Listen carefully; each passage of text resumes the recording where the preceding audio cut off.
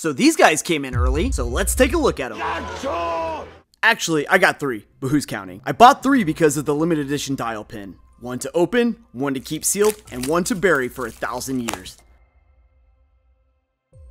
This 4K Walmart exclusive comes in an embossed slipcover, and under the slipcover is a different cover.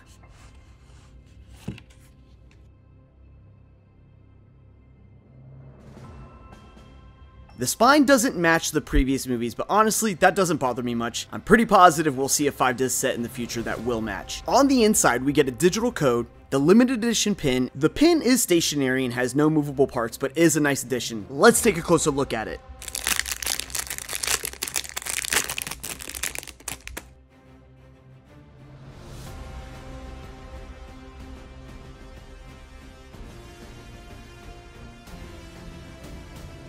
And then we have the two discs, one being the film, which is in 4K, and then a Blu-ray with the bonus features, which is the score-only version in Dolby Audio that I'm incredibly excited for, and a five-part behind-the-scenes documentary. If you have any questions, leave them in the comments, and as always, fortune and glory.